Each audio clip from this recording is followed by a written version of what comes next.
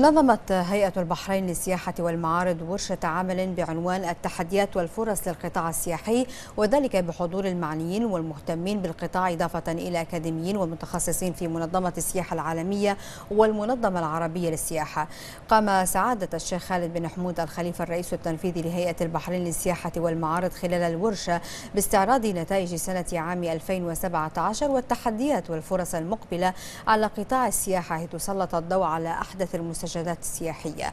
من جانبه ناقش المدير التنفيذي للسياحة والترفيه بمجلس التنمية الاقتصادية في مملكة البحرين السيد جراد بشار أبرز المقومات التي يمتلكها القطاع السياحي حيث سلط الضوء على مكامن القوة له والمعوقات والتحديات التي تواجهه. ثم استعرض الفرص المواتية للاستثمار واختتم بتقديم التوصيات اللازمة لتحقيق المزيد من النمو خلال الأعوام المقبلة لهذا القطاع الحيوي الذي يعد أحد أهم الأعمدة الاقتصادية بالمملكة. المملكة هدفت الورشة إلى وضع واستكمال البيانات والتوصيات التي من شأنها أن تؤدي إلى النمو المنشود وتطوير السياحة في مملكة البحرين بالإضافة إلى دعم التعاون بين القطاعين العام والخاص بغرض استثمار الفرص والتغلب على التحديات والتهديدات وكذلك تهيئة بيئة مواتية لتطوير المنتج السياحي البحريني ودعم السياحة الوافدة إلى المملكة.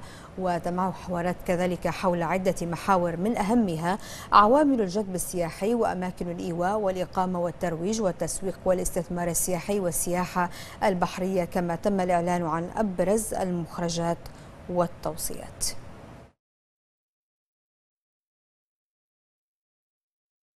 سعيدين جدا اليوم أن نحتضن آه، ورشة عمل تبين تحديات آه، قطاع السياحة وأيضا الفرص اللي موجودة في قطاع السياحة.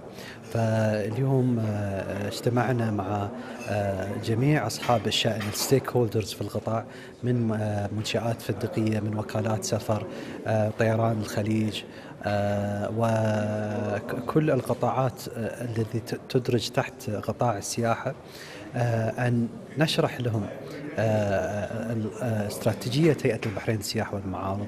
وين إحنا كنا وين وصلنا وإن شاء الله الطريق أمامنا.